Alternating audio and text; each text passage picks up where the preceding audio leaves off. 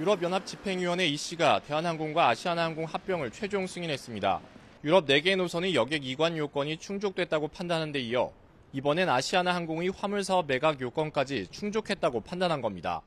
대한항공 측은 미국 법무부에 EC의 최종 승인 내용을 보고했다며 올해 안에 최종 거래 종결 절차를 매듭 짓겠다고 밝혔습니다.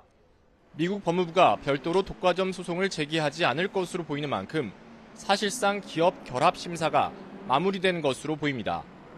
대한항공이 지난 2020년 11월 아시아나항공 인수를 결정한 지 약 4년 만의 일입니다.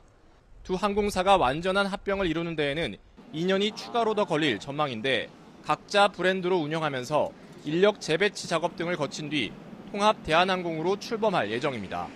합병 후엔 글로벌 10위권 초대형 항공사로 거듭나게 됩니다.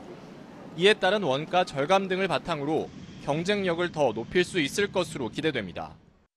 우리가 어, 석유를 100% 수입하는 국가인데 대한항공, 아시아나가 석유를 대량으로 구매하기 때문에 그런 구매에 대한 경쟁력을 가지게 될 것입니다. 대형 항공사가 생김으로 인해서 여객과 화물에 있어서 경쟁력을 가지는 것이고 다만 우려의 목소리도 적지 않습니다.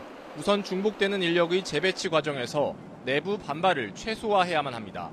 양사의 마일리지 제도 통합 과정에서 대한항공과 아시아나의 비율을 어떻게 할지를 놓고 합리적인 방안을 마련해야 하는 과제도 남았습니다. 양사 합병에 따른 통합 저비용 항공사가 출범할 경우 국내 LCC 업계 판도도 크게 출렁일 전망입니다. YTN 최두입니다.